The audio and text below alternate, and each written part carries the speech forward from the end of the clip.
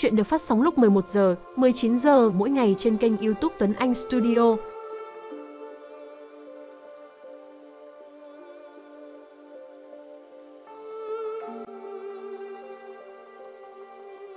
Thánh Khư tập 415 Bây giờ lúc đuổi kịp chiến thuyền, cho dù đã trì hoãn 3 ngày, nhưng mà mọi người không hề có biểu cảm không hài lòng. Chuyến này vào dị vực quan trọng nhất vẫn là Sở Phong hỗ trợ, giúp bọn họ ngăn chặn sự ăn mòn của vật chất màu xám. Trong ánh bình minh sáng lạng, Sở Phong đứng ở đầu thuyền, trên người giống như trải qua lột xác nào đó, mang theo chút ánh sáng màu vàng nhạt. Trong lòng hắn không còn loại nặng nề kia, đã buông bỏ chấp niệm. Trước khi đi, lại bất ngờ gặp được cha mẹ. Trùng phùng như vậy khiến tâm linh của hắn rực rỡ, một vùng tinh khiết và long lánh.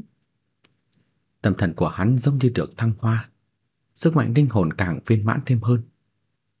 Buông bỏ đi quá khứ, chuẩn bị đón lấy đại kiếp của tương lai.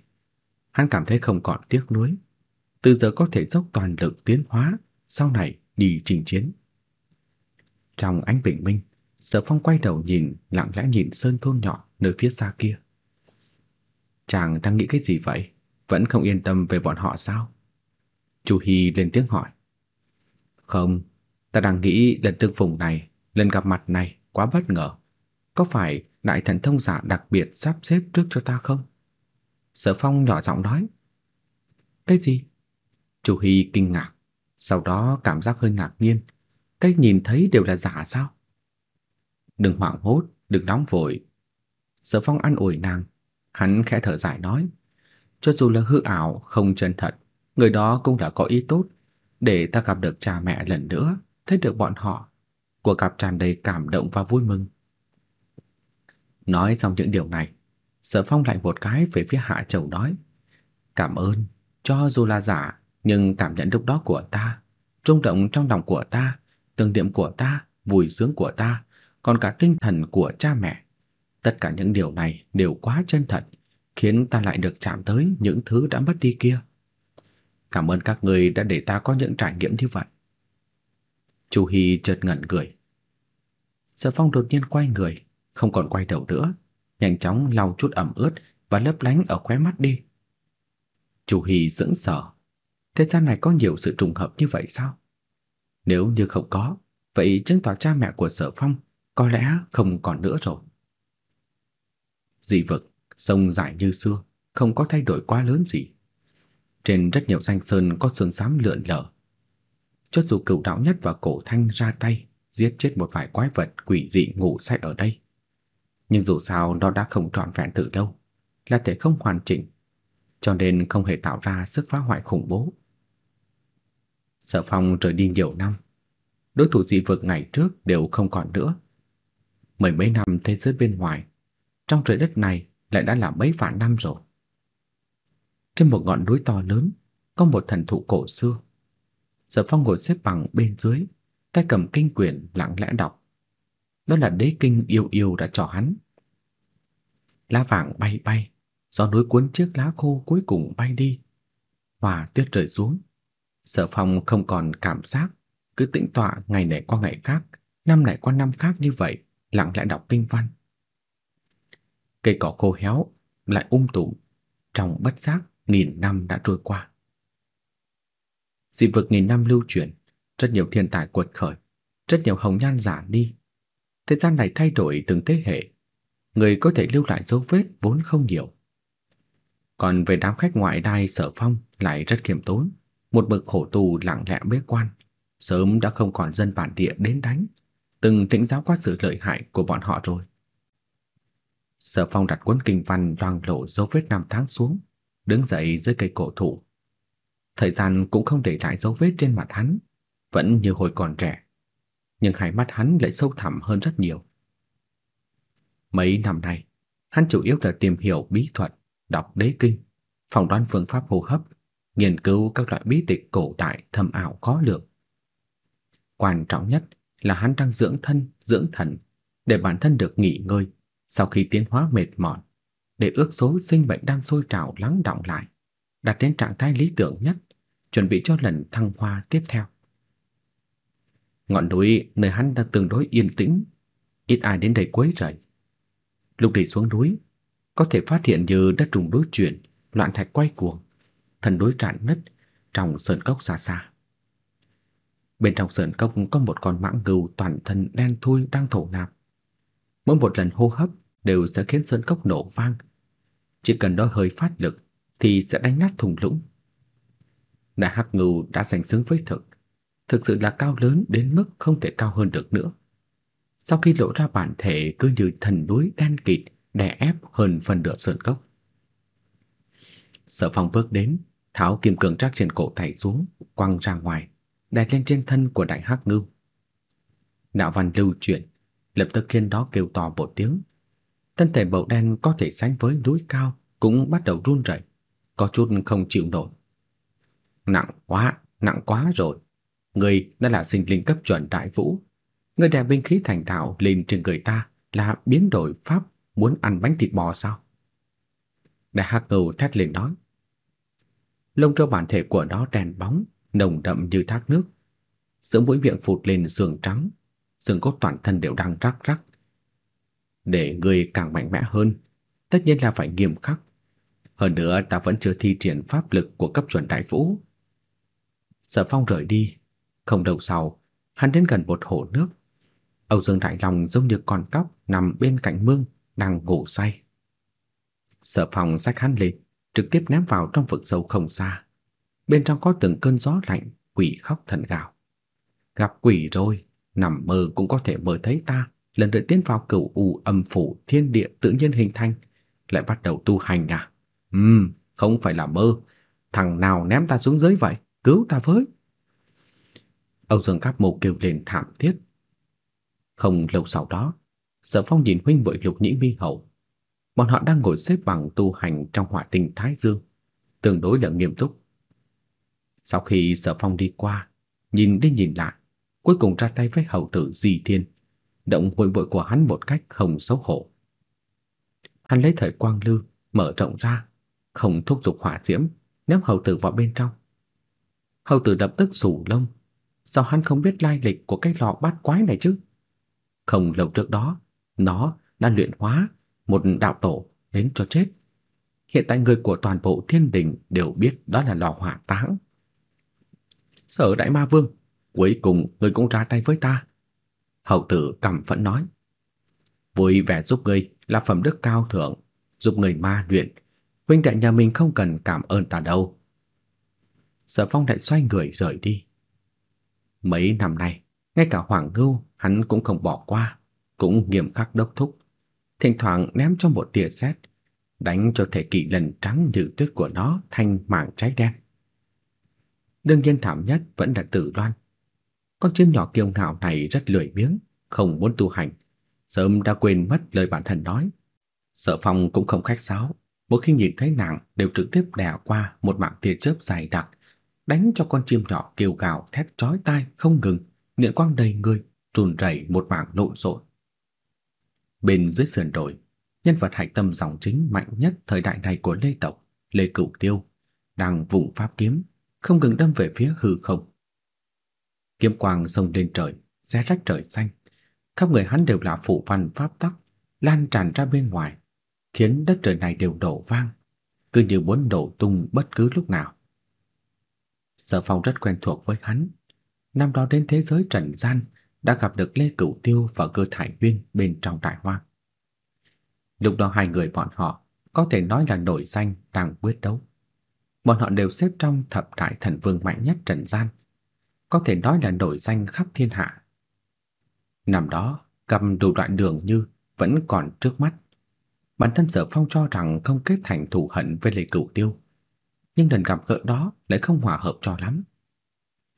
Lúc này nhìn thấy Lệ Cửu Tiêu đang múa kiếm phía dưới, Sở Phong đưa tay khống chế pháp tắc thiên địa, sau đó trút xuống lượng lớn phủ văn che ngập hắn, giống như mưa trút nước xuống. Lại là ngươi, Lệ Cửu Tiêu huy động kiếm pháp đánh ra sấm sét, đối kháng với mưa ánh sáng pháp tắc, đánh đến long trời lở đất, lưu quang vỡ đê, khắp nơi đều là năng lượng mênh mông cuồn cuộn. Chỉ cần đối mặt với Sở Phong, Lê Cửu Tiêu đã tức giận, thực sự không nhịn được mà phát cuồng. Dù cho đối phương đã là sinh linh cấp chuẩn đại vũ, thì hắn cũng không sợ. Chủ yếu là năm đó kết thủ lớn. Hắn cho rằng ma đầu trước mắt rất đáng ghét, từ nhỏ đã không phải là người tốt rồi. Hắn sẽ không quên tình cảnh sau khi hắn đại chiến với cơ thải huyên, lại gặp phải tập kích của quái vật ngủ say, bị trọng thương ngã xuống dưới vách núi. Tiểu tử đẩy lồng xuất hiện ngầm nga, một cơn mưa xối xả mùa xuân. Lúc đó, La sợ ba đầu ở trạng thái đứa trẻ con, trong miệng ngâm nga lời như vậy, sau đó làm ướt hắn. Năm đó Lê Cửu Tiêu quả thực nôn ra máu, vậy mà lại bị một đứa trẻ tóc lông tưới nước tiểu đầy người. Vì thế, hắn sách đào đi tìm người báo thù đã mấy năm trong đại hoang. Năm đó đều là hiểu lầm thôi, người nghĩ nhiều rồi. Sở Phong xoay người rời đi, đương nhiên cũng không quên mưa ánh sáng pháp tắc che mất đối phương. À, sợ ma đầu. Lê Cửu Tiêu kêu to. Trên một đỉnh núi xa xa, sau khi cơ thải huyền nhìn thấy cảnh này thì hé miệng cười trộm. Sau đó lại cảm khái. Thời gian trôi qua nhanh thật, thoáng cái đã trôi qua nhiều năm như vậy. Ban đầu lúc nàng gặp sở phong, đối phương vẫn còn là đứa nhỏ không lương thiện cho lắm. Đảo mắt một cái lại sắp trùng kích lĩnh vực cấp đại vũ, khiến nàng cảm thán về nhân sinh. Lúc nàng đang xuất thần, thì một ánh lửa từ trên trời giáng xuống, bao trùm trên đỉnh đầu của nàng đang đứng, khiến cho cả ngọn núi đều hóa thành nham thạch nóng chảy bốc hơi lên. Tia cổ trụ chi diễm đã bị phá loãng. Cơ Thải Huyên kinh ngạc kêu lên. Rõ ràng sợ ba đầu không chút thường hỏa tiếc ngọc, đối xử như nhau, trực tiếp dùng đạo hỏa thiêu đốt nàng, ép nàng bay ra tiềm lực mạnh nhất. Chỉ một thoáng, nàng luống cuống tay chân, ngay cả pháp tắc như cầu vồng, đạo văn như mưa cũng không cách nào chặn được một sinh vật cấp đại vũ tiện tay áp chế. Dường như là trong nháy mắt, mái tóc của nàng đã bị đốt một búi. Nàng không khỏi thét chói tai nói, sợ ma đâu. Sở phong không thèm để ý, phất ống tay áo, không mang theo đám mây màu, để lại một ánh lửa mới lướt đi xa. Không lâu sau sở phong xuất hiện, trên một núi đá trơ trụi. Nơi ấy có một thanh niên ngồi xếp bằng, thực sự bất phàm. Bên ngoài đều là đạo văn, có thể cảm ngộ bản nguyên đại đạo ở cấp độ tuổi này, đến mức đó thực sự là hiếm có. Đương nhiên Sở Phong không xem mình là thanh niên. Nếu so sánh với ma đầu, hắn đương nhiên là người khác sẽ bị che hết hào quang. Mãi cho đến khi thanh niên đó mở mắt, kết thúc tham ngộ, Sở Phong mới có động tác. Lần này lật tay chính là một mảng đại không chi hỏa, thiêu đốt nam tử này. Đại không, có người nói ngươi được xem là con nối dõi của ta, ngươi nghĩ thế nào? Sở Phong lại hỏi. Bên trong ngọn lửa khủng bố, thành niên vốn có khí thế như thần ma, đang đối kháng đại đạo chi hỏa. Sau khi nghe thấy lời này thì suýt chút nữa, tinh thần thác loạn, bị hỏa phần làm khô héo cơ thể. Ai nói, không phải bản thân người đang nói bậy đó chứ. Đại không cam phẫn không thôi. Sợ ma đầu này không chỉ nói như vậy một lần. Người nghĩ đi, năm đó ta bước ra từ đất luân hồi, mới vào trần gian để lộ chút vật chất kỳ trần thiên địa, trùng hợp rơi xuống kỳ thạch cửu khiếu. Có thể nói là thiên địa giao nhau, khiến cho thần đoán bên trong kỳ thạch sớm xuất thế, lúc này mới có người chơ. Tính toán cẩn thận, dù ngày đó kỳ thạch là đất, thiên địa cộng mình mới sinh ra ngươi. Vậy người nói xem, người có tính là con của ta không? Sở Phong hỏi. Đại không đổi giận, phát cuồng kêu to ở nơi đây. Hắn liều mạng đối kháng với đại không trì hỏa, hận không thể lập tức giết ra ngoài quyết tử chiến với sở ma đầu.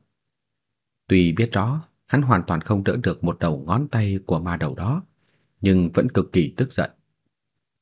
Sở Phong hành tẩu khắp nơi, dù là người quen hay là nhân tài kiệt xuất các tộc xa lạ, hắn nhìn thấy thì sẽ ra tay, khiến đời trẻ trung niên rơi vào trong nước rồi lửa bỏng, ma luyện bản thân trong ma uy đáng sợ của Sở Phong.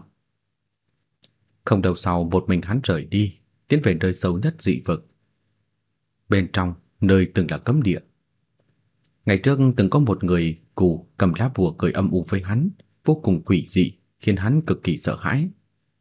Thời gian trôi qua, ngay cả đạo tổ ngủ say trong cấm địa này đều bị cửu đạo nhất và cổ thành giết chết, chứ đừng nói đến sinh vật khác. Nơi này bây giờ là một mảng trống rỗng. Chỉ là hang đất ở sâu trong cấm địa lại có nguy hiểm khó lường. Nơi này có di tích, có đạo cung, còn có vật chất khó hiểu và bản nguyên của giới này dây dưa với nhau. Sở Phong thâm nhập dưới lòng đất, cảm nhận được thời gian mênh mông phập phồng. nhìn thấy tinh thần tiên cổ trường tồn đang giải thể, vạn vật khó khăn, chúng sinh tịch diệt. Đó là cảnh của ngày xưa, từng có một nền tiến hóa văn minh vĩ đại bị hủy diệt, chỉ có phần nhỏ di tích còn sót lại thôi. Ban đầu tiến hóa văn minh này khiến đạo tổ quỷ dị tuyệt đỉnh đều kiêng kỵ, liều lĩnh tiêu diệt, hủy diệt tất cả. Ngày trước tự có điểm rực rỡ. Vật chất thời gian. Sở Phong nói nhỏ, nhẹ giọng thở dài. Nơi sâu nhất trong lòng đất đã không thuộc về thế hệ này nữa, mà siêu thoát ra ngoài không gian. Có từng tia pháp tắc trí cao chảy xuôi, có thứ mà bản nguyên đại thế giới để lại. Có lúc tràn ngập vật chất quang tổ, là một nơi hỗn loạn, nguy hiểm và vô cùng phức tạp. Ở nơi này thời gian hỗn loạn, tốc độ dị thường. Sở dĩ dị vực như vậy, vì nơi này chính là đầu nguồn của nó. Sở Phong nghe theo khuyên bảo của cửu đạo nhất và cổ thanh, cho đến khi trở lại thành sinh linh cấp chuẩn đại vũ, mới đến nơi này thu thập vật chất đạo tổ kỳ chân tiên địa, thời. Nơi này có bí mật, có khí tức vô cùng khủng bố sót lại, không giới hạn trong đạo tổ quỷ dị đơn giản như vậy. Dựa theo cách nói của cửu đạo nhất, hắn đang nhìn thấy một quỹ tích thư tử lướt qua nơi đây, long đánh xẹt qua thời gian, mang theo vật chất thời ngập trời, rơi xuống phương xa. Cửu đạo nhất suy đoán, ban đầu ở biên giới của tiểu âm gian, thư tử nhìn thấy trong mộc thành, cũng của vũ trụ hỗn độn bị tàn phá đó, có lẽ từng đi ngang qua nơi đây. Cho nên nơi này thời gian hỗn loạn, rất có thể là có người cố ý dẫn thư tử của người đó trút vật chất thời quang xuống. Sinh vật vô địch trong sinh vật vô địch. Thư tử mà hắn đánh trở về dạo chơi trong năm tháng mênh mông, xỏ xuyên qua tất cả vật cản trở. Không chỉ có người mơ ước nội dung bên trong, mà còn có đạo tổ của ngày trước muốn hấp thu một vài lực lượng tham ngộ diệu pháp vô địch bên trong đó. Sở Phong thở dài, phải cần bao nhiêu mạnh mẽ, một bức thư đã có thể như vậy rồi. Chỉ là suy nghĩ kỹ lại, quả thật cũng có thể thông suốt. Không biết người đó đang ở phương nào, còn có trong lịch sử cổ, còn có giữa hiện thế, đều không thể dự đoán. Hắn muốn đánh thư trở về, tất nhiên phải mang theo vật chất thời vô lượng mới có thể phá thời không. Sở Phong thành công hấp thu đủ vật chất đạo tổ thời gian, khiến kỳ ảo thăng hoa tại chỗ. Phía sau hiện lên phòng sáng cửu sắc, uy lực lớn vô cùng. Điều này sớm đã vượt qua phạm trụ siêu thoát kỳ ảo vốn có, thuộc về bí thuật siêu cường của bản thân hắn. Trên thực tế, chỉ với thời gian kỳ ảo của bản thân đã có thể xếp ba thứ hạng đầu thuật pháp công kích. Hiện tại phòng sáng cửu sắc của Sở Phong đã bao gồm con đường này. Đương nhiên dù là con đường nào đều phải xem là ai bước đi. Có người chỉ không thế thời gian, một con đường vấn đạo đến cuối đường đánh khắp vô địch thiên hạ, cũng chưa hẳn là không thể. Sở Phong không vội rời đi, hắn đang quan sát khu vực đặc thù của mảng vật chất đạo tổ thời gian này với bản nguyên thế giới đang dây dưa. Nơi đó còn có từng tia quy tắc cấp lộ tẫn. Sau đó hắn hơi kinh ngạc, thời gian bên trong lưu chuyển quá hỗn loạn rồi. Phần lớn tốc độ thời gian của khu vực bên trong chậm chạp, dường như dừng lại, có lẽ còn kiếp người hơn cả dị vực. Còn có một khu vực quả thật là hoàn toàn tương phản, hơi tiến gần về phía trước, lập tức cảm nhận được thời gian điên cuồng trôi qua, năm tháng vô tình lướt qua, trong nháy mắt có cảm giác thấy sự xoay vần. Khu vực trung tâm này, toàn độ khác nhau thì tốc độ thời gian khác nhau, thậm chí còn đối lập nhau. Đúng là đáng sợ. Nếu không chuẩn bị tốt, cho dù là sinh vật tiến hóa rất mạnh tiến vào, đều sẽ xảy ra chuyện ngoài ý muốn. Khu vực có tốc độ thời gian chậm lại thì thôi đi, không tổn thương được bản thân mình. Nhưng khu vực khác cũng đang tức đoạt năm tháng tùy ý xông vào, có thể sẽ nhanh chóng từ một thanh niên thành trung niên, thậm chí là người già cả. Sở Phong sợ hãi, không thăm dò sâu vào, mà cấp tốc lùi ra ngoài. Hắn tin rằng nếu như luyện hóa bản nguyên của khu vực trung tâm đó, tất nhiên sẽ thành một trí bảo thời gian khiến người ta sợ hãi. Đồ vật này, nếu thật sự muốn đánh lên trên người sinh vật tiến hóa, có lẽ trong nháy mắt có thể ăn mòn thọ nguyên của hắn đến khô kiệt, trở thành bộ xương hóa thành tro bụi. Tính toán về thời gian, hắn nghĩ nên trở về trần gian rồi. Có thể lần nữa tiến hóa, cơ thể của hắn trải qua làm lạnh nhiều năm như vậy, đã khôi phục lại trạng thái tiềm năng cực kỳ dư thừa, sinh vật cấp đại vũ. Tiếp theo hắn muốn tiến quân lĩnh vực đó, chỉ là không biết hắn có gặp được hư thối, vấn đề nghiêm trọng làm khó mọi người hay không. Từng nghìn năm nay, không ít người từng đi ra ngoài, ví dụ như Chu Hi, ví dụ như lão cổ, ví dụ như đám người đại hắc ngưu. Dường như không ai lựa chọn thăng cấp ở dị vực. Một khi cảm thấy trạng thái bản thân đủ tốt thì tạm thời trở về trần gian, đi ăn dị quả, hấp thụ phấn hoa, tiến hành đột phá, làm ổn định lại đạo hạnh. Sau một thời gian ngắn lắng đọng, người rời đi vẫn sẽ trở về. Đây là lợi và hại của con đường phấn hoa. Một khi trạng thái cơ thể theo kịp, cộng thêm có phân hóa quý hiếm phối hợp, như vậy sẽ có cơ hội lột xác nâng cao thêm một bước.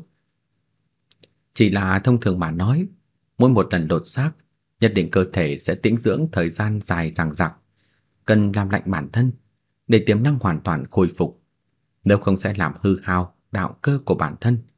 Nếu còn mạnh mẽ tiến hóa thì sẽ khiến bản thân bước lên đường cùng, có thể nói là có yêu cầu cực kỳ nghiêm khắc. Cho nên dị vực đối với sinh linh của con đường phân hoa ngoại giới tuyệt đối là một tịnh thổ vô thượng, thậm chí có thể xem là thánh địa chí cao. Nó có hiệu quả khắc phục sự tệ hại của con đường phân hoa, rút ngắn thời gian làm lạnh, chịu đựng năm tháng mà sinh vật tiến hóa cần, đi hao tổn quá trình thay đổi cực lớn một cách không xác định. Ở thời kỳ này, còn những người tuy đang bế quan ở dị vực, nhưng Sở Phong lại không gặp mặt được mấy lần. Ví dụ như đám người Ánh Hiểu Hiểu, Tần Lạc Âm đều đang tu hành ở chỗ yêu yêu bế quan, mượn đạo trường của nàng làm phai mờ sự ăn mòn của vật chất màu sắc. Thậm chí có khoảng thời gian Lê Cửu Tiêu cũng muốn chạy đến đạo trường của yêu yêu, bởi vì mỗi lần hắn nhìn thấy Sở Phong thì dễ dàng bị kích động nhưng lại không đánh được. Còn con đại không cũng muốn tránh qua đó, chủ yếu là hắn vô cùng lo lắng, sợ có người ăn vạ cưỡng ép làm cha già của hắn. Nghìn năm qua, đây cũng là lần đầu tiên Sở Phong muốn rời khỏi dị vực. Tiến hóa cấp bậc cao hơn, đương nhiên thời gian làm lạnh cũng khiếp người hơn. Trên thực tế, nếu không phải hắn bất ngờ tìm được sen vạn kiếp luân hồi bên trong con đường luân hồi, hấp thu thiên tương với có đàn đá cộng mình trợ giúp thì thời gian mà hắn cần sẽ càng lâu hơn.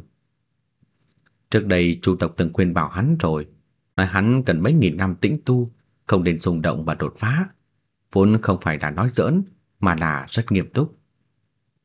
Từ 500 năm trước, sau khi yêu yêu trở thành sinh linh cấp đại vũ thật sự, Sở Phong từng dùng bình đá trấn áp, cẩn thận thúc giục đàn đá giúp nàng cộng minh tẩy lệ đạo thể. Hắn lại cũng dự đoán mấy cái thể yêu yêu cùng đồng tu, cộng thêm chân thân làm lạnh từ thượng cổ, có thể nói là nội tình cực kỳ thâm hậu và kiếp người. Nếu nàng tiếp tục tu luyện ở dị vực, tin rằng lúc xuất quan có lẽ có hy vọng thành cấp bậc chân tiên tuyệt đỉnh. Cho nên Sở Phong cũng muốn tranh thủ thời gian, hắn cũng muốn mạnh mẽ quật khởi. Lần này, người quay về với Sở Phong không nhiều cho lắm, người còn lại không thể tránh khỏi đều muốn đến đạo trường của yêu yêu. Thật ra trải qua nghìn năm thích ứng, bản thân của rất nhiều người cũng dần có thể chống đỡ được sự ăn mòn của vật chất màu xám. Đây chưa chắc không phải là một loại ma luyện khác. Chu Hi đã sớm đợi Sở Phong cùng hắn bước lên con đường trở về. Nghìn năm lưu truyền, hồng nhan không giả, thanh xuân thượng trú, bởi vì nàng đã là thần vương tuyệt đỉnh. Đáng tiếc, muốn tiến quân vào lĩnh vực thiên tôn thì quá khó khăn. Muốn phá quan ở độ tuổi này có chút không thực tế. Tuy thiên phú của nàng còn có chút kiếp người, nhưng trung quy vẫn không thể xem là ngoại tộc được ghi chép trong sử sách.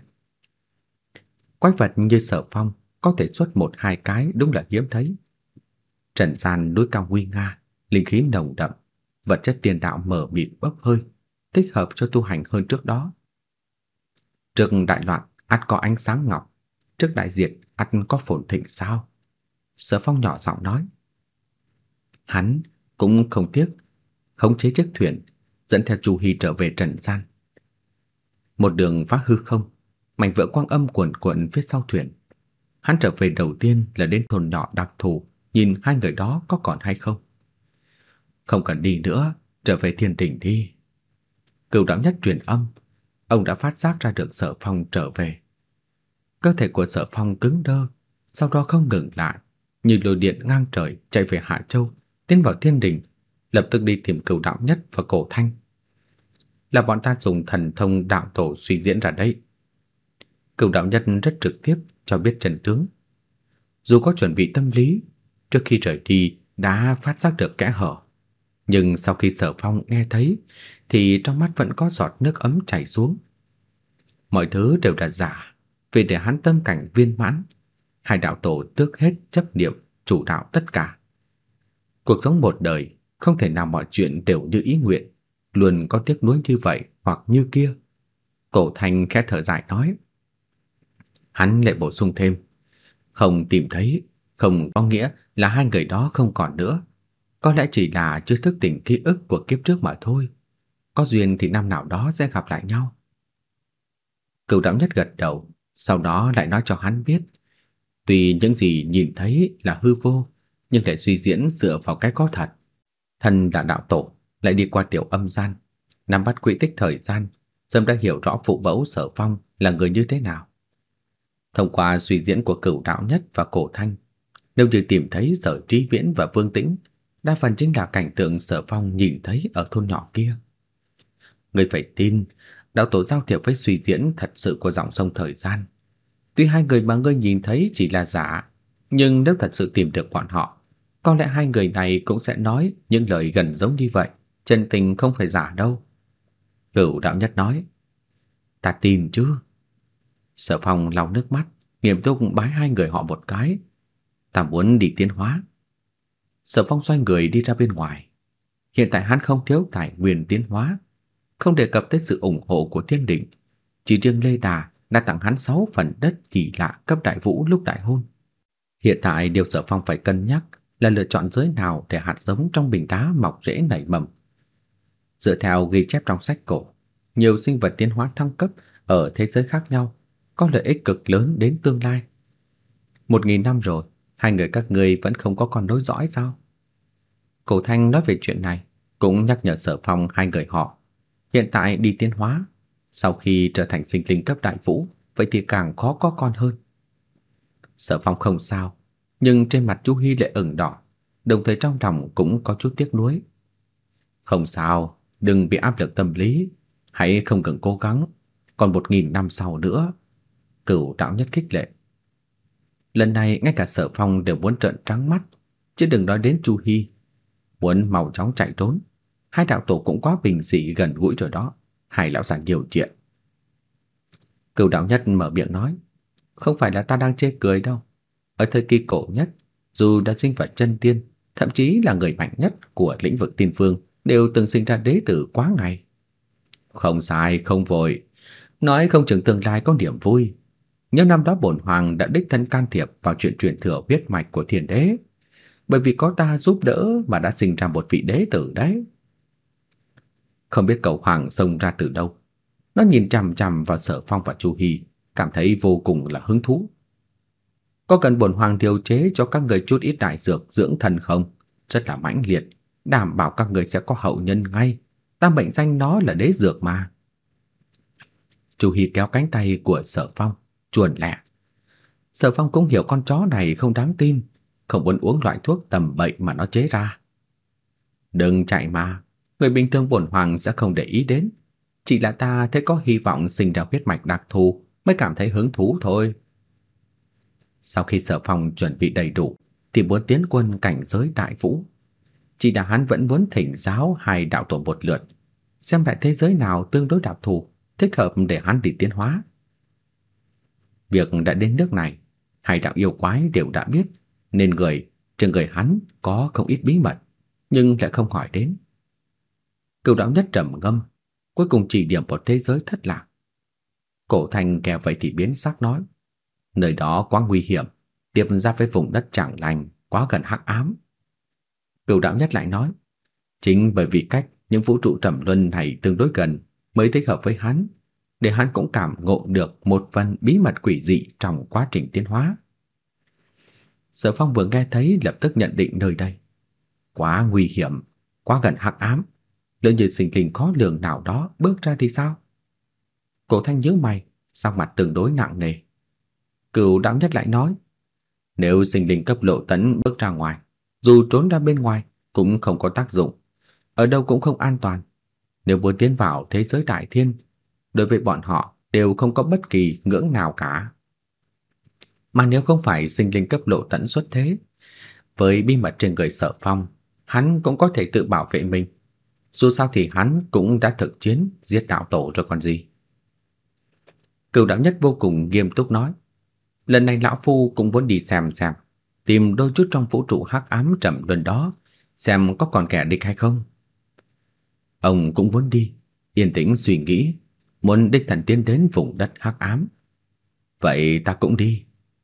Cổ Thanh kiên trì chuẩn bị đi một chuyến. Bổn hoàng cũng đi một chuyến. Cầu hoàng cũng mở miệng. Nó và xác thối đều chuẩn bị đi xem có còn cố nhân bị chìm xuống mảng thế giới ngăn cách bên ngoài hay không. Sở Phong không nhịn được mà hỏi đó rốt cuộc là khu vực như thế nào. Hiếm có ai biết, giống như dị vực, thuộc về thế giới thất lạc. Nhưng lớn hơn dị vực mà người vừa mới trở về, bị quỷ dị và những đại vũ trụ không lành ăn mòn, đã từng rất sáng lạng và huy hoàng, nhưng hiện tại đã rách nát, chỉ còn lại hắc ám cực kỳ nguy hiểm. Đơn giản mà nói, nơi đó là thế giới đại thiên có chủng tộc quỷ dị xâm chiếm, có không ít vũ trụ, nhưng hiện giờ văn minh chi hỏa đã dập tắt. Nơi đó có sinh vật hắc ám chính thức hoàn toàn hắc hóa, không cách nào quay đầu lại. Ví dụ như tiên tộc đừng ghi chép trong sách cổ là chỉ hắc ám chi tiên. Tộc Đoạn Lạc Tiên Vương so sánh với bọn họ tuyệt đối là thuần túy lương thiện. Sau khi Sở Phong nghe đến đây thì hơi đỡ đẫn. Tiên tộc, hắc ám chi tiên dường như cực kỳ đáng sợ, hoàn toàn chìm vào chủng tộc không lành, không cách nào quay đầu lại được. Thế giới thất lạc và thế giới đại thiên hiện tại dường như đã cắt đứt qua lại. Bởi vì nếu như có lối đi tốt hơn thì không thể thiếu chiến đấu được. Vùng đất đó cũng được xem là tuyến đầu chiến địa, bị Chư Thiên có ý định ngăn cách bên ngoài. Sở Phong đại khái đã hiểu là khu vực như thế nào. Thật ra năm đó, lúc hắn vừa mới đến Trần Gian, đã nghe qua mấy tin đồn tổ tông Trần Gian đã khai chiến với tiên tộc. tiến đầu trận địa đã bị ngăn cách ở bên ngoài. Thì ra là thế, hiện tại hắn đã hoàn toàn hiểu ra ẩn tình ở bên trong. Thế là Sở Phong tin tưởng, lần này không dẫn theo Chu Hi vì sợ gặp nguy hiểm. Chư thiên cùng rộng lớn hơn so với hiện tại, đại thế giới sàn sát, nhưng năm tháng dài dằng dặc, có không ít đều bị điểm xấu ăn mòn, rơi vào trong hắc ám. Cửu đạo nhất dẫn đường, bọn họ dọc theo một thông đạo không gian đứt quãng, tìm được con đường cổ thông đến nơi từng sống của hắc ám, nhanh chóng tới gần. Tường thành màu đen giống như thân núi, cao lớn mà hùng vĩ, phát ngang trên mặt đất, làm cho người ta cảm giác không thể phá vỡ, nhưng cũng bầu bạn với hương vị của thiết huyết. Đây là địa giới hắc ám ư? Ngay cả tường thành cũng hùng hồn tới như vậy, cao lớn như núi, tràn ngập khí tức áp lực màu đen khủng bố. Khi Sở Phong bước vào thổ địa tràn ngập sức mạnh bất tưởng, đã cảm nhận được một luồng áp lực vô hình, làm cho tâm thần người ta đều rơi vào chấn động. Hắn có thể đối kháng quỷ dị, không quan tâm các loại vật chất bất tưởng, nhưng vẫn nhíu mày. Có thể thấy được, nếu là người tiến hóa bình thường tới đây, nhất định sẽ càng không thoải mái hơn. Khắp chốn trời đất, không có lúc nào là không tràn ngập từng tia vật chất màu đen, khiến cho dù là ban ngày cũng có hơi ảm đạm. Trên bầu trời có một vòng huyết nhật xuyên thấu qua đám sương màu đen không có chỗ ở, rơi xuống ánh sáng thể diễm. Có thể nói rất nhanh, Sở Phong ý thức được không đúng. Vòng huyết nhật đó rõ ràng đang rỉ máu. Cái này có chút nổi da gà. Mặt trời chảy máu, thật sự mới nghe lần đầu, trông có chút đáng sợ. Nhưng sau khi cẩn thận quan sát, hắn hiểu được đang xảy ra chuyện gì. Huyết nhật cũng không phải là tinh thể bình thường, lại là một thi thể của cổ phượng cuộn mình thành một cục vô cùng khổng lồ, bị luyện hóa thành thái dương treo lờ lửng mà chiếu sáng. Thế giới này tràn ngập quỷ dị, khí tức áp lực, ngay cả mặt trời chiếu khắp nhân gian đều như thế, nhìn thấy đều gây người. Tính toán thử thời gian, máu của cổ phượng đó cũng nên chảy hết trong điên đại này. Kết quả của dùng máu nuôi dưỡng sắp chín rồi. Cửu đạo nhất mở miệng nói. Ông rất quen thuộc với đại địa này. bởi vì rất lâu trước kia, đây coi như là trong phạm trù của chư thiên. Thời gian lưu chuyển, ngàn năm chẳng qua là trong nháy mắt, vạn năm cũng chẳng qua là quay đầu dừng mắt. Đối với một vài sinh vật bất tử mà nói, trải qua năm tháng dài lâu, luôn dùng thời đại năng thăng trầm trong lịch sử làm đơn vị tính toán thời gian cơ bản. Đáng tiếc, năm đó có vài sinh linh cực kỳ kiệt xuất đều chết ở trong thổ địa này. Nếu sống đến bây giờ, có người ắt có thể thành đạo tổ tuyệt đại. Cửu đạo nhất nói. Cổ thành đánh giá xung quanh rất cẩn thận. Cầu hoàng và xác chết than nhẹ, cực kỳ trầm mặc, cuối cùng lại thoáng thất hồn lạc phách. Sau khi tới đây, bọn họ ý thức được người muốn gặp không thể gặp được, không có cơ hội nữa. Trên thổ địa này rơi máu của những người đó. Mọi thứ đều chôn vùi trong lốc xoáy lịch sử. Trong cửa thành bầu đen hùng vĩ kia đều là người nào? Tiên tộc Hắc Ám. Sở Phong hỏi. Người lòng hỗn tạp, mảnh đất màu xám không ai quản lý. Cửu đạo nhất nói, nơi này trong quá khứ là thành trì tuyến đầu, xem như trận địa tuyến đầu. Có thể nói, trên đất đai này, mỗi một tấc đất đều nhiễm đầy máu của anh linh. Tùy tiện đào xuống nửa thước sẽ có thể thấy được thi cốt của các bậc tiền nhân. Hiện tại, người nào trong thành trì này cũng có, trừ tiền tranh được hùng đầu tới, quái vật trong bộ tộc quỷ dị, cùng với người ở lại trong thành trì ban đầu.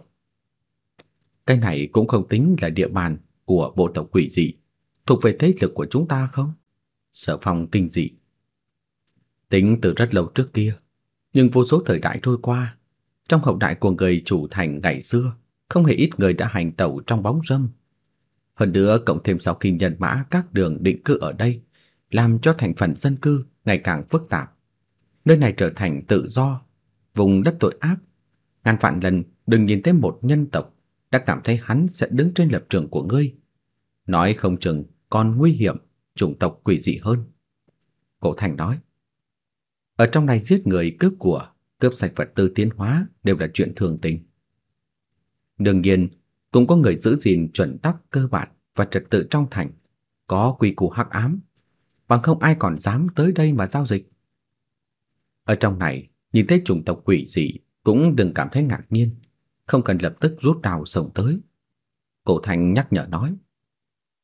Từ thành này cổ xưa mà nguy hiểm, sớm từ trận địa hùng quan tuyến đầu ban đầu biến thành chợ đen lớn nhất. Thậm chí nói chính xác thì không phải chợ đen, đều là giao dịch bày ra ngoài mặt. Bộ tộc quỷ dị và nhân tộc có kẻ mặc cả cũng không đáng ngạc nhiên. Sở Phong nói, như vậy à, ta cũng muốn thử xem.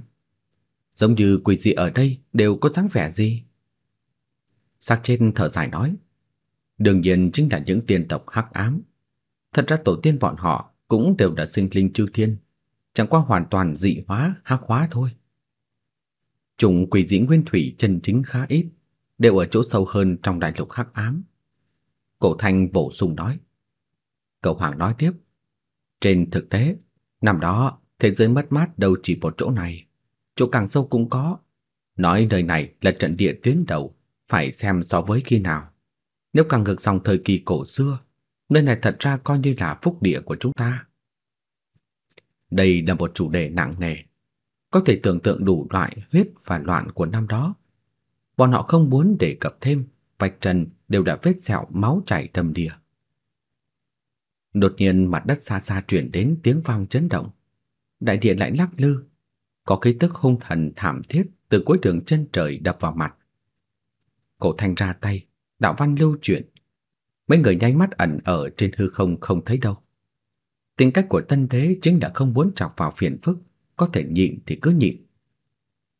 Đó là một đám mãnh thú, có huyết sư kích thước như núi nhỏ rít lên, có đại xà mọc cánh phi hành ở tầng trời thấp, còn có tê tê màu bạc đi vội như cơn gió. Các loại mãnh thú đều có, đều đặt tọa kỵ, ngồi ở phía trên tất cả đều là kỵ sĩ hắc giáp đeo mặt nạ dữ tợn. Một đám khí tức huyết tinh đập vào mặt. Trên tọa kỵ của bọn họ còn buộc từng cái đầu, tình trạng chết rất là thảm. Bọn họ gào thét, đi tới cự thành màu đen xa xa. Hạc giáp quân đọa lạc đến mức độ này sao? Đa số dân tộc cùng với đại tộc trong chư thiên mà bọn họ giết, đây đã đang làm cái gì? Cổ Thành nhíu mày nói. Nhắc tới hắc giáp quân, cho dù là cầu hoàng hay là xác chết, đều một trận xuất thần. Đó từng là cường quân ngăn cản ở tuyến đầu, tiếng tăm lừng lẫy. Nhưng mà hiện tại, bọn họ đang giết đồng tộc, đang đối phó sinh linh bên phía chư thiên.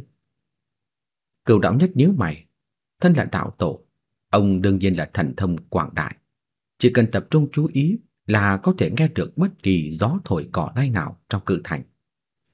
Ông lập tức biết chuyện gì đang xảy ra. Xem ra từ nay về sau, nơi này không phải mảnh đất màu xám, đã hoàn toàn hắc hóa.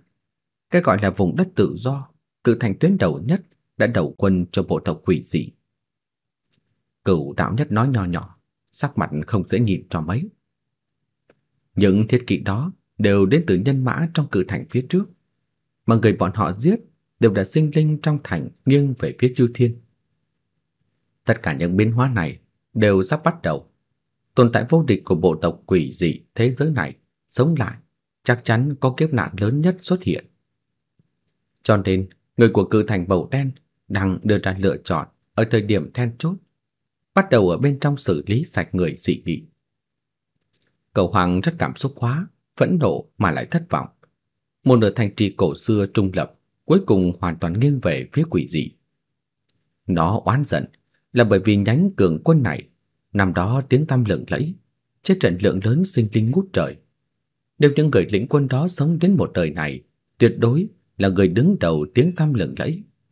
Nhưng đáng tiếc, con cháu của những anh linh, ngọn cờ của thành trì này, những hắc giáp quân, kết quả là đi theo địch. Xác chết rất hiểu tâm trạng của nó. Hắn cũng đến từ nơi đó, vỗ vai cậu Hoàng nói.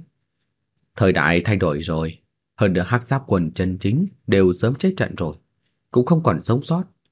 Tăng ký hắc giáp quân hiện tại không có mấy người là con cháu của bọn họ đâu, đều là đời sau của những người di cư thành phần phức tạp từ các triều đại tới nay. Cậu Hoàng giống như nháy mắt đi mất sức lực, không chút phẫn nộ, mà là đầy rẫy buồn bã. Hắc giáp quân nằm đó quả thật chảy khô cạn máu, không còn lại mấy người. Nhưng bản đó cũng cực kỳ không cam tâm. Nếu không phải đợi sau của Hắc Giáp quân chân chính, tại sao còn muốn dựng thẳng ngọn cờ này? Nó hùng tợn trừng mắt, nhìn về phía bụi đất đầy trời do thiết kỵ rời đi tạo nên, lại nhìn về phía Sở Phong rồi nói: "Nhóc con, ngươi có dám lập đại kỳ thí luyện trong này không?" Ngàn năm chưa từng diệt địch, gần cốt đều đã rỉ sét, ta muốn hoạt động một chút. Sở Phong nhìn về phía đó không chút kinh sợ. Đừng để thêm chuyện, nơi này dù sao xem như vũ trụ hắc ám, nếu kinh động bộ tộc quỷ dị sẽ không ổn đâu. Cổ Thành lên tiếng khuyên can. Có gì đáng sợ chứ, chỉ cho phép bọn họ giết người, không cho phép chúng ta phản kích à? Cầu Hoàng trừng mắt, nó mang theo tức giận ngập tràn. Cổ Thanh xấu hổ, không khỏi nhìn về phía cửu đạo nhất. Ta thấy cũng được, không có gì to lớn lắm. Cửu đạo nhất lại gật đầu đồng ý. Lão ra người thật muốn nảy sinh ác độc, cũng muốn đập nát vài đại lục hắc ám, đánh xuyên mấy vũ trụ bất tường mà sinh vật quỷ dị chiếm cứ có thể làm thế nào. Nhưng mà hắn nghĩ tới những lão huynh đệ, có rất nhiều người ngã ở nơi này, máu nhiễm cả chiến trường, chôn cốt ở đại lục hắc ám. Hắn im lặng, không đành lòng ra tay. Thật ra chủ yếu là bởi vì cho dù hắn đánh thủng những vùng đất hắc ám cũng không có ý nghĩa. Mấu chốt nhất chính là đồng nguồn ách thổ, nơi đó có đạo tổ cùng với sinh vật cấp lộ tẫn vô cùng khủng bố hơn. Không phá hủy đồng nguồn quỷ dị, chung quy là không thay đổi được đại thế. Nếu dẫn đến đại chiến, sinh linh tuyệt đỉnh trong bộ tộc quỷ dị đi ra thì làm sao đây? Cố Thanh cẩn thận hỏi Han. Chỉ cần không ở nơi này giết đạo tổ, có thể có chuyện gì? Người chỉ đã đánh chìm đại địa hắc ám, cũng sẽ không dẫn đến bất kỳ tiếng vọng. Ánh mắt của đồng quân bất tường chưa từng đặt trên người của ngươi và ta, không cần nghĩ chúng ta quá mức quan trọng. Thậm chí, giết đạo tổ ở trong này cũng không thấy có sinh vật cấp độ tẫn xuất thế. Ta cảm thấy sinh vật cấp độ tẫn coi thường mọi thứ. Ngay cả đạo tổ bản thổ bọn họ cũng chưa bao giờ xem bọn họ ở trong mắt. Lần trước không phải chúng ta từng giết một người sao? Còn không phải không có chuyện gì à? Có lẽ tình huống gần chân tướng nhất chính là sinh vật tối cao của đồng nguồn quỷ dị có ràng buộc không thoát ra được. Cửu đạo nhất nói xong lời cuối cùng, trong mắt phát ra chùm tia sáng tinh người. Vậy ta ra sân, ma luyện bản thân. Ở trên đại địa hắc ám, sát sinh ta không có cảm giác chịu tội. Sở Phong nói, với hắn thì ngàn năm trôi qua, sớm đã muốn quyết đấu cùng trùng bất tường. Hiện tại cơ hội ngay trước mắt, hắn có thể tùy tiện tiến công. Được, người thầy tàn đánh diệt nhánh hắc giáp quân hiện tại này, thu đại kỳ của bọn họ lại. Cậu hoàng gầm nhẹ nói, lông chó đều dựng đứng. Cầu đạo nhân vỗ vai cậu thành nói, không có gì phải đo lắng hết, không cần có gì băn khoăn hết. Nghĩ quá nhiều cũng vô dụng thôi. Nếu sinh vật cấp lộ tẫn muốn ra tay, cho dù gây vật ta ở đây hay là ngủ đông ở chư thiên không ra. Nếu tồn tại này muốn ra đánh, kết quả đều giống nhau. Cho nên thay vì như thế, còn không bằng thẳng thắn nói ra suy nghĩ trong lòng. Nên như thế nào thì như thế đó. Đúng vậy, một lát sở phong cười vác đại kỳ diệt sạch đám quỷ hắc giáp quân. Sắc chết mở miệng, đã sớm không chút sợ hãi nữa. Cầu hoàng ra tay ngay tại chỗ, lấy ra một lá cờ rách nát, hơi tù bộ một phen liền trịnh trọng đưa ra cho sở phong. Nói với hắn đây là đại kỳ mà hắc giáp quân trần chính để lại. Cửu đạo nhất mở miệng nói, trong thành này không có sinh linh thời đại của ta, đều đã nhóc con miệng còn hồi sữa, ta sẽ không tham dự, đi đến vùng đất mà lão huynh đệ đổ máu, mài táng, truy điệu một phen. Cầu hoàng xác chết đều trợn mắt nhìn hắn. Lão yêu quái này còn cậy ra lên mặt nữa. Nhục thần của ta còn cổ xưa hơn ngươi. Xác chết nói. Linh hồn chuyển đổi bao nhiêu lần, một thằng nhóc miệng còn hồi sữa. Cửu đạo nhất khinh bỉ nói. Trong lòng của xác chết có hơi buồn bã nói. Lão ra người, ngươi thì biết cái gì? Nhục thân đó của ta là căn bản của đạo, nhớ lại tất cả, quan trọng hơn linh hồn nhiều. Sớm muộn sẽ có một ngày, đại niết bàn sẽ xảy ra rung chuyển cả dòng chảy thời gian. Cầu đạo nhất đi rồi, hơn nữa lôi theo cổ thanh, nói cho đám cầu hoàng, kêu cổ thanh giúp ông đào cốt, ở dưới đại địa hắc ám tìm kiếm thi cốt của những lão huynh đệ. Cổ thanh cười khổ, tần đến như ông lại bị kéo đi làm cu ly rồi. Trong thành có tiên vương tuyệt đỉnh, các người cũng đừng quá sợ ý. Cửu đạo nhắc nhắc nhở. Thế là sợ phong lên đường, một mình vác đại kỳ rách nát màu đen, đi tốt đằng trước. Cầu hoàng và xác chết đi theo phía xa, xuất phát tới cự thành màu đen. Trên thực tế, còn không đợi cho bọn họ tiếp cận mục tiêu, phía sau lại chuyển đến tiếng vang của động đất, lại làm một đám thiết kỵ. Từ lân mã sáu sừng đến con nghề hắc hóa, cái gì cần có đều có kỵ sĩ trên tọa kỵ đều mang theo mặt nạ dữ tợn. Không chút ngoài ý muốn, trên tọa kỵ của bọn họ cũng trong một vài cái đầu, thuộc về chiến lợi phẩm, nhìn ra mới vừa săn giết trở về không lâu. Lại thêm một đầu người. Những kỵ sĩ phát hiện Sở Phong gào thét xông qua. Đối với bọn họ mà nói, đây là chiến công. Gần đây đại nhân trong thành hoàn toàn chuyển hướng, không hề duy trì trung lập mặt ngoài hoàn toàn quy thuận sinh vật hắc ám và chủng tộc bất tường, đuổi giết sinh linh trong thành vốn nghiêng về chư thiên. Không cần hỏi thử lập trường của hắn à? Hỏi làm cái gì? Dù sao cũng là ở ngoài, giết là được. Dưới những mặt nạ dữ tợn, Mộ Quang lộ ra hung lệ, căn bản không dự định hỏi Sở Phong. Cọt sắt đạp nứt đại địa, trực tiếp giết tới. Có người vung trường đao, bầu bạn với quang mang sáng như tuyết, quét tới cổ của Sở Phong, muốn trực tiếp thu gạt đầu của hắn. Rầm. Nhưng mà Sở Phong dừng chân, một quyền đánh tới kỵ sĩ này. Trong phút chốc mà thôi, trường đao nát vụn, ngay cả kỵ sĩ và tọa kỵ của hắn cũng nổ tung trong hư không. Người là người phương nào? Người trên tiết kỵ khác đều bị kinh sợ. Cho dù bọn họ rất máu lạnh, dần dần hắc hóa, nhưng bây giờ còn cảm giác được sợ hãi. Người tới giết các ngươi. Sợ Phong lạnh giọng nói, tay vác đại kỳ, lạnh lùng nhìn quét tất cả thiết kỵ. Kỵ sĩ dẫn đội đột nhiên biến sắc. Bọn họ dám ra khỏi thành tuổi giết những nhân vật hung ác thoát đi. Bản thân đương nhiên không yếu, đều là cao thủ cả. Đừng nhìn thiết kỵ này chỉ có hơn 100 người, nhưng mà tiếp cận sinh vật cấp đại vũ đã có hai tên. Người yếu nhất trong đội ngũ ở cấp bậc thần vương, hơn nữa chỉ có vài vị thôi. Trên đại địa hắc ám, trong thế giới mất mát cực kỳ thượng võ, có thể thành quân ắt có cao thủ tỏa trấn. Làm thịt hắn. Người dẫn đầu thét lớn, ánh mắt hùng lệ, giống như mãnh thú hồng hoang sống dậy. Hắn là người thứ nhất giết qua. Sau đó tất cả kỵ sĩ rít gào, bộc phát ra sát khí kinh thiên động địa, năng lượng cộng hưởng lẫn nhau, ngừng kết làm một thể, giết qua Sở Phong. Sở Phong không muốn dây dưa nhiều với bọn chúng, trực tiếp thúc giục cửu bảo diệu thuật. Quang tuần chín mạo bay ra, trở nên khổng lồ vô cùng, đè ép về phía trước. Phi phi phi. Cho dù ở giữa có sinh vật cấp chuẩn đại vũ sắp xỉ cảnh giới của Sở Phong, cũng căn bản không đỡ nhìn. Quang tuần ngang trời, làm cho tất cả nhân mã đều nứt nẻ, rồi sau đó nổ tung. Sở Phong xẹt qua một kích, toàn bộ kỵ sĩ hắc giáp bị diệt. Người phương nào? Nơi cuối đường chân trời, trong cửa thành bầu đen kia truyền đến tiếng quát lớn, quả thực sắp rống vỡ vòm trời, làm cho hư không nổ tung.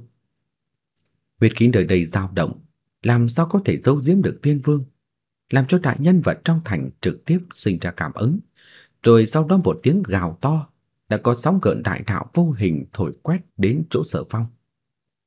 Dao động cấp tiên phương đủ để xé rách sơn xuyên vạn vật.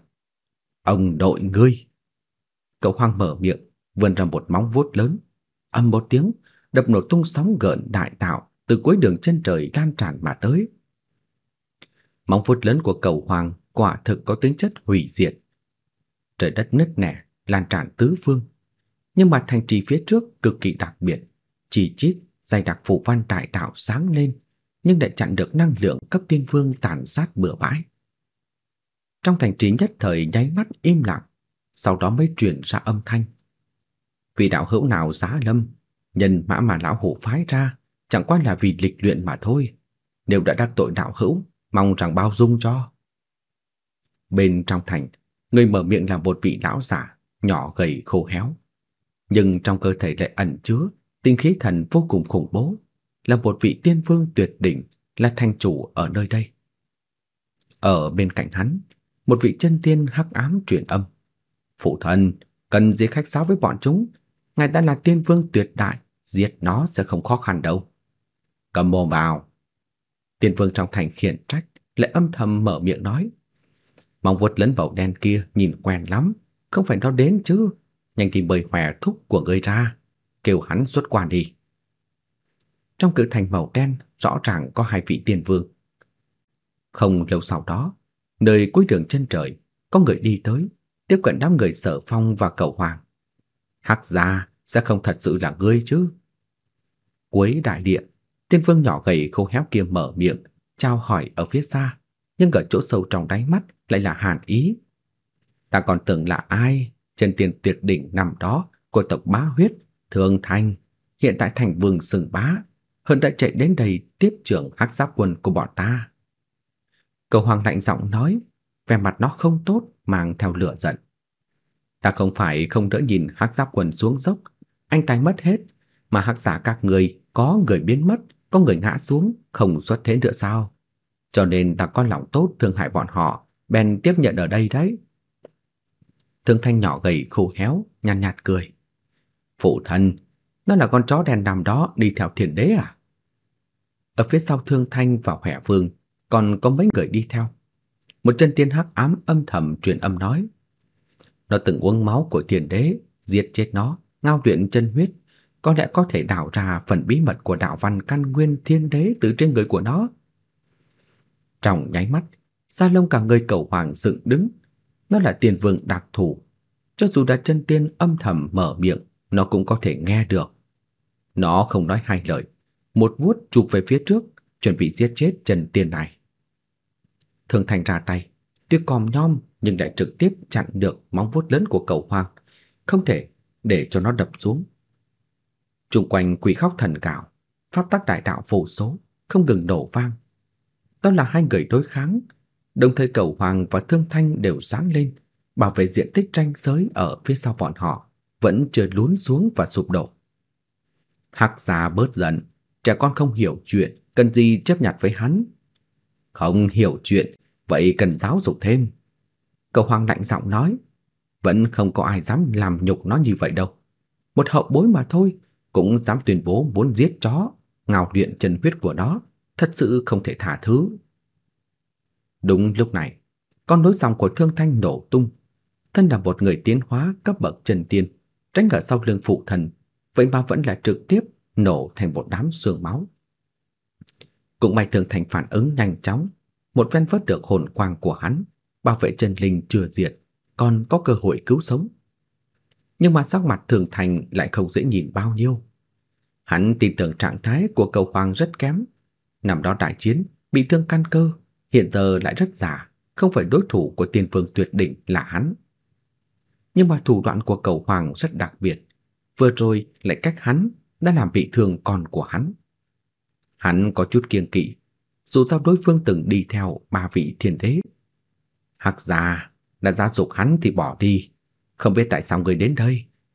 Cổ Thanh mở miệng, mang một hậu bối lịch luyện, bất trí bất giác đi đến nơi đây, người không ngại tìm vài cường giả cảnh giới sấp xỉ, giáo huấn thằng nhóc này một chút, để hắn hiểu được núi cao còn có núi cao hơn. Cầu Hoàng Hoài cười nhưng trong không cười nói, "Được, vào thành để ta sắp xếp." Thường Thành gật đầu, nhưng mà ở chỗ sâu trong đồng tử của hắn là một mảnh bóng tối sâu thẳm vô cùng. Hắn không cho rằng có người dám hoành hành ở đại địa hắc ám, càng không có người tiến hóa có thể vô địch ở trong này. Dù sao có thể bởi ra sinh vật đồng cấp bất bại của chủng tộc bất tường bất cứ khi nào.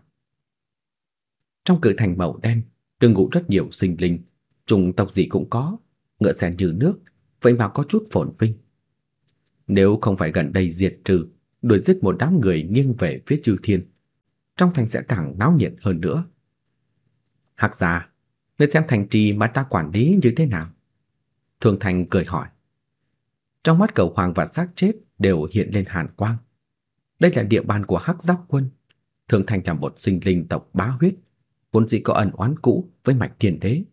Đời sau lại chạy đến đây đoạt địa bàn này, còn dám hỏi như vậy? Nhưng mà ý cười trên mặt Thường Thành không duy trì bao lâu, đã chuyển qua lạnh lẽo.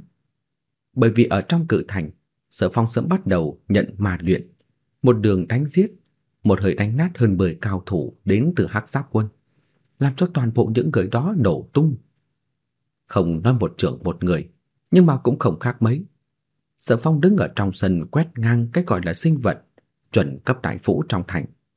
Quá yếu, quá yếu rồi. Sở Phong lắc đầu nói. Một bàn tay của hắn thủy chung đang phát một cây đại kỳ màu đen rách nát. Đó là chiến kỳ của Hắc Giáp quân chân chính ngày xưa, làm cho sắc mặt không ít người sau khi nhìn thấy lá cờ này đều biến đổi. Ngoài ra, ở trên đại kỳ Sở Phong viết xuống hai chữ cầu bại. Đây quả thực là đang khiêu khích tất cả những người tiến hóa, cảnh giới sắp xỉ với hắn trong hoàn cảnh này. Ta đến cho. Cuối cùng hậu nhân dòng chính của Thương Thanh lại tự mình ra sân. Hắn cho rằng dù bản thân không địch lại cũng có thể thong dòng rút lui. Huống hồ bí bảo khủng bố trong tay hắn có thể giết đối phương. Đáng tiếc sở phòng không cho hắn cơ hội, quả thực là sâu không lường được, đánh độ tung sinh linh chuẩn cấp đại vũ khác cũng thôi đi. Đối mặt với hậu nhân của tiên vương tuyệt đỉnh, hắn chỉ là đập thêm hai trưởng mà thôi. Trước sau tổng cộng ba trưởng. âm một tiếng, Sở Phong khiến cho hậu nhân chuẩn cấp đại vũ vô cùng tự phụ. Thực lực quả thật cực kỳ lớn mạnh, nổ tung thành một đám xương máu. Thường Thành trực tiếp đứng lên, không giận mà uy, tản ra uy áp tiền vương. Cầu hoàng lạnh lùng cũng đã đứng dậy, đường hoa văn đại đạo màu đen đang lan tràn xung quanh nó. Còn có ai không, đều yếu quá. Phía xa Sở phong hô, đứng đầu, từ đầu đến cuối, hắn đều vác đại kỳ trên tay. Một bàn tay đối địch vẫn không có đối thủ. Đi đến chỗ sâu trong đại lục hắc ám, đi bởi tiên tộc hắc ám đến không thể quay đầu lại ra cũng đi nói cho quái vật tuyệt đại trong bộ tộc quỷ dị và sinh vật bất tường, nói cho bọn họ biết bọn họ có đối thủ rồi. Thương Thanh âm thầm sai người đi bẩm báo. Hắn không tin những quái vật trẻ tuổi đi ra từ đông quân quỷ dị sẽ thất bại. Có vài người là hậu nhân của đạo tổ, có vài người thậm chí là hậu duệ huyết mạch của sinh vật tối cao. Sở phòng nhất định sẽ có đối thủ. Bỗng nhiên một luồng lưu quang từ thiên ngoại bay tới, quá sáng chói. Năng lượng bắn ra càng như biển núi vỡ bờ, như dùng nham trong tâm địa cầu xuyên qua bề mặt địa cầu, kéo theo lôi hỏa trên bầu trời, đưa tới sóng lớn đập lên cười. Cảnh tượng quá kinh khủng. Cường giả đều hít một hơi khí lạnh, vậy mà làm một mũi tên chói mắt từ trên bầu trời bay xuống, dao động năng lượng kéo theo, khiến cho mặt đất đều nứt toác. Cự thành màu đen có đạo văn bảo vệ, trái lại không có gì thường. Nhưng có một số khu vực ngoài thành đang tan rã, rung động ầm ầm. Mặt đất tùy thời sẽ nổ tung toàn diện. Mũi tên bay thẳng vào trong thành, bay về phía Sở Phong, có người muốn bắn chết hắn. Người xuất thủ không hề phát ra tiếng trước, xem như một mũi tên ngầm đáng sợ. Bất ngờ Dương Cung bắn ra một mũi tên như vậy, uy năng dọa người. Mũi tên này nhanh đến mức rất nhiều người đều chưa kịp phản ứng, chỉ có sinh linh cấp độ chân tiên hắc ám trở lên thì rõ, cảm nhận được sát ý thấu xương. Tiến hóa giả khác chỉ cảm thấy hoa mắt, ánh sáng vô cùng chói mắt trong đầu trống rỗng, còn không biết đã xảy ra chuyện gì. Tất cả mọi chuyện đều xảy ra trong khoảng thời gian cực ngắn, cho dù là sinh linh cấp chuẩn đại vũ, gần như đều không có phản ứng. Đây là tiết tấu muốn thuấn sát Sở Phong, là một mũi tên ngầm kinh khủng, nhất là nó mượn quy tắc đại đạo của vũ trụ hắc ám. Sau khi ngừng tụ lượng lớn đạo văn từ vực ngoại, mới đột ngột buông xuống. Thay vì nói là tên, không bằng nói là vật dẫn lưu hình của đạo văn, hệt như một ngôi sao chổi xẹt qua, phá vỡ hư không đại băng diệt, phạm vi sát thương rất lớn.